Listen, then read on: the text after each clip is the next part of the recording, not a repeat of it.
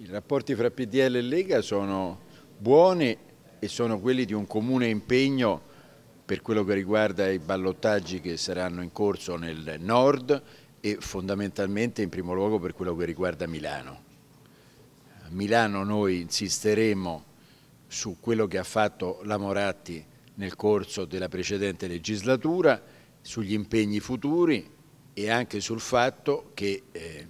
il candidato della sinistra esprime la sinistra più radicale e più estrema, che mette in questione tanti problemi programmatici che invece la Moratti stava risolvendo e quindi è un appello anche alla borghesia milanese perché faccia i conti poi per quello che riguarda la scelta del sindaco rispetto agli orientamenti programmatici reali. Un conto sono le elezioni amministrative e un conto è il quadro politico generale, quindi da questo punto di vista il governo proseguirà nella sua azione dovendosi misurare con i nodi dell'economia, con il problema di una crisi finanziaria internazionale che prosegue e anche con tutti gli sforzi che vanno fatti per aumentare la crescita.